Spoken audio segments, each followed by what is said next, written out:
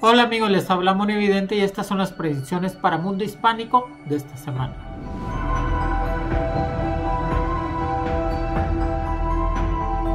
Los signos que van a traer todas las suertes Géminis, Leo y Escorpión y sus números mágicos 04, 08 y el número 27.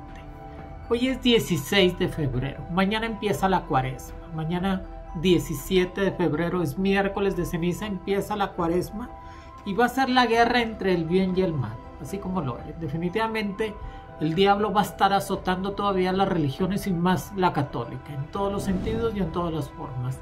Todavía se ven decesos a, muchos obispos y gente y representantes de la Iglesia Católica por culpa del COVID, pero lo peor se avecina en esta cuaresma. Definitivamente se ve que el Vaticano va a seguir sufriendo muchas bajas y sobre todo el Papa se ve delicado de salud o uno de los dos padres, el Papa anterior Benedicto o el Papa Francisco, sufre definitivamente un problema en cuestiones de salud muy grave. Pero eso no es todo.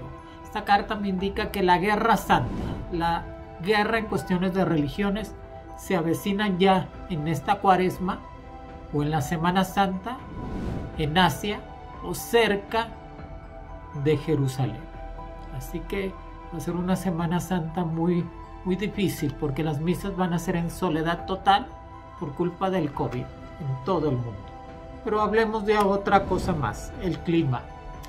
La carta del sol. Definitivamente ya para el mes de marzo, ya empezando cuaresma, se visualiza que el sol no va a dar tregua. Definitivamente un calor como nunca lo había visto va a ser todo el año 2021 en todas partes y en todo el mundo, pero más en México y en Estados Unidos. Casi muy pocas lluvias, casi muy pocos tornados, casi muy pocos ciclones. Tenemos que cuidar el agua, señores. Este año va a ser muy seco, una sequía muy fuerte. Hay que cuidar el agua completamente en todos lados y en todas partes. Y seguirán los sismos.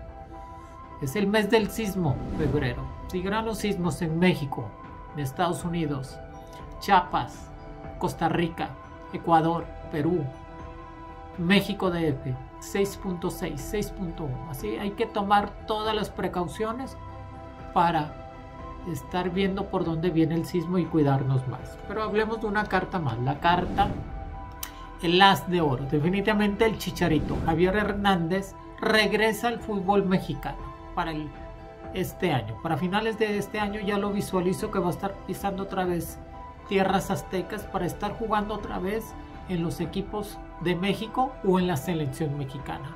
Pero eso no es todo. Definitivamente se deja de su exmujer y ya lo veremos con pareja nueva que es una modelo y vuelve a ser padre de un niño. Así como lo ven. Pero ahora con una pareja nueva que es una modelo y que definitivamente se ve muy acoplado con ella y ya definitivamente dejó a la otra mujer con los otros dos hijos que saldrá a la luz que uno de los dos hijos no es de él.